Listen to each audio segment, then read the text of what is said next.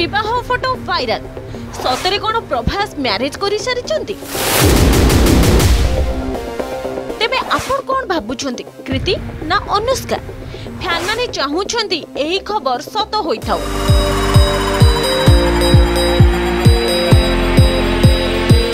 Tollywood ইন্ডস্ট্রিরু আজি এক খুশি খবর আসিছি যিয়ে বর্তমান ইন্ডস্ট্রিরে সবুঠারু মোস্ট এলিজিবল ব্যাচেলর আমি কহুছু প্রভাসক কথা ସାଉଥରେ ସମସ୍ତେ ତାଙ୍କ ଦିୱାନା।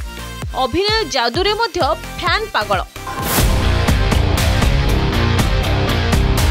କେହି କେହି କହୁଛନ୍ତି ପ୍ରଭାସ କାଳେ ଲୁଚି ଲୁଚି ବିବାହ କରିସାରିଛନ୍ତି। ଆପଣଙ୍କୁ ସକ୍ ଲାଗିଲା ନା?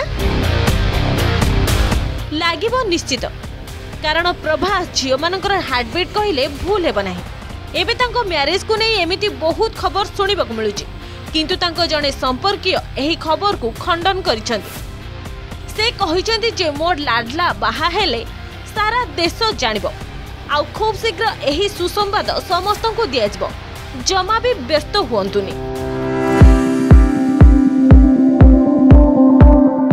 ସୁପରହିଟ୍ ସିନେମା ବାହୁବଲୀର ଅଭିନେତା ଓ ଅଭିନେତ୍ରୀ ପ୍ରଭାସ ଓ ଅନୁଷ୍କା ସେଟ୍ଟୀଙ୍କ ଯୋଡ଼ିକୁ ସମସ୍ତେ ପସନ୍ଦ କରନ୍ତି।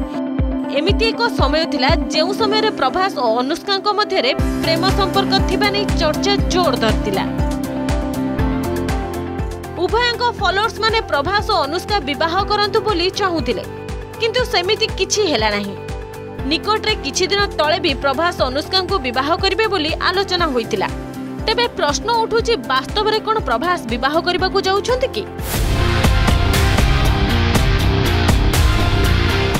ସେହିପରି ବଲିଉଡ୍ ଅଭିନେତ୍ରୀ କୃତି ସେନନଙ୍କ ସହ ପ୍ରଭାସଙ୍କର ଆଫେୟାର୍ସ ଚାଲିଛି ବୋଲି ଶୁଣିବାକୁ ମିଳୁଥିଲା। କାରଣ ଦୁଇ ଜଣ ଆଦି ପୁରୁଷରେ ଏକା ସାଥିରେ କାମ କରିଥିଲେ।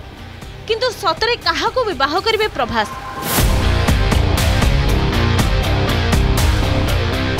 ତାକୁ ନେଇ ଏଯାଏ ଅଫିସିଆଲି କୌଣସି କନଫର୍ମେସନ ମିଳିନି ଏନେଇ ପ୍ରଭାସଙ୍କ ଚାଚୀ କହିଛନ୍ତି ଯେ ଖୁବ୍ ଶୀଘ୍ର ପ୍ରଭାସ ବିବାହ କରିବେ ତାଙ୍କ ବିବାହକୁ ସମସ୍ତ ମିଡିଆ ପ୍ରତିନିଧିଙ୍କୁ ଇନଭାଇଟ୍ କରାଯିବ ଗତ କିଛି ଦିନ ତଳେ ସାଲାର ମୁଭି ପ୍ରମୋସନ ପାଇଁ ସେ ତିରୁପତି ମନ୍ଦିର ଯାଇଥିଲେ ଆଉ ସେଇଟାରେ ହିଁ କହିଥିଲେ ମୁଁ ତିରୁପତି ମନ୍ଦିର ଆସି ବିବାହ କରିବି। ପ୍ରଭାସଙ୍କ ଚାଚୀ ଆଉ ମଧ୍ୟ କହିଛନ୍ତି ଦୁର୍ଗା ମା ତାକୁ ନିଜେ ଆଶୀର୍ବାଦ ଦେବେ। ତା ଚାଚୁଙ୍କ ଆଶୀର୍ବାଦ ସର୍ବଦା ତା ଉପରେ ରହିଛି। ଖୁବ୍ ଶୀଘ୍ର ଦୁଲ୍ହା ହେବ ମୋ ରାଜଦୁଲାରା। ତେବେ ପ୍ରଭାସ ଓ ଅନୁଷ୍କାଙ୍କ ଏହି ବିବାହ ଫଟୋ ଏବେ ସୋସିଆଲ ମିଡିଆରେ ଘୁରି ବୁଲୁଛି। ଯାହାକୁ ଦେଖି ତାଙ୍କ ଫ୍ୟାନ୍ସ ମାନେ ବେଶ୍ ଖୁସି ହୋଇଯାଇଛନ୍ତି। ପ୍ରଭାସ ସିକ୍ରେଟଲି ହେଉ ପଛେ ଅନୁଷ୍କାଙ୍କୁ ବିବାହ କରିଛନ୍ତି ବୋଲି ଅଭିନେତାଙ୍କ ଫ୍ୟାନ୍ସ ମାନେ କହିଛନ୍ତି।